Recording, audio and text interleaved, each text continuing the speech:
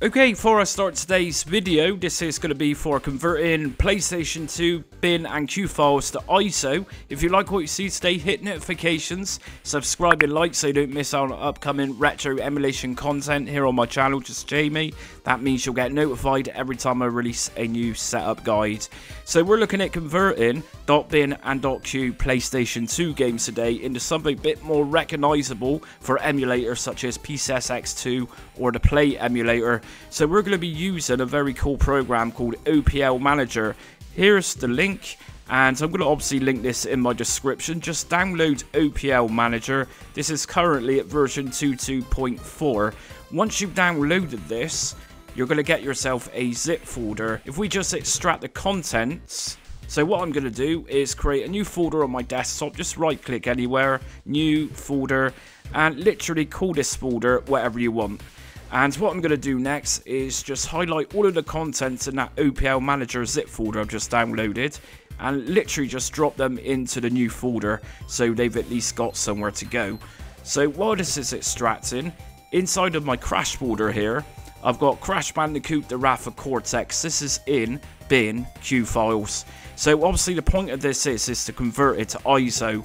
So what we're going to do next is just delete that zip folder of OPL Manager because we've just extracted it into a new folder. So what we're going to do is open up OPL Manager, just double left click on the exe. Windows protected your PC, just left click on more info and run anyway. Okay, so first thing we're going to do is select our language. Lots of different languages here. English by default for me and save. And we're also going to go for save on automatically check for updates. Next thing we're going to do just here is actually put a path in place for this.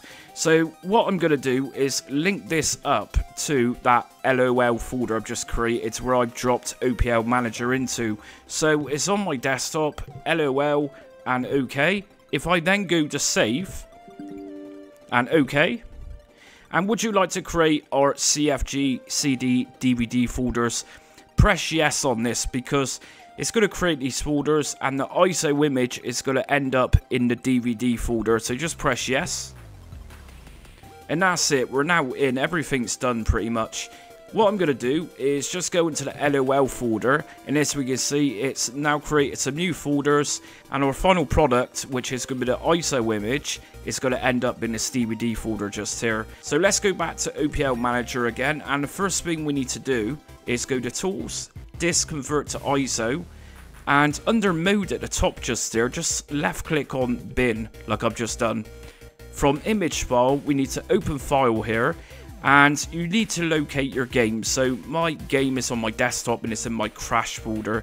If I double left click and as we can see it's even located the game's ID all we need to do then to convert this to ISO is press on start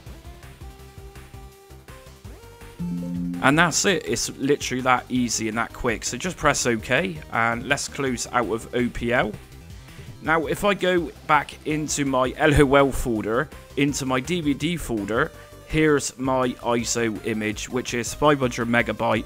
So obviously we can actually rename this because we don't necessarily want the uh, serial number uh, SLES 503 blah blah blah. So if you wish, you can just literally backspace that. So it just reads Crash Bandicoot The Wrath of Cortex.iso. So anyways, if you liked today's video, hit notifications, subscribe and like so you don't miss out on upcoming retro emulation content. Also join me on social media, I'm on Facebook, Instagram, Twitter and TikTok. But until next time, stay retro.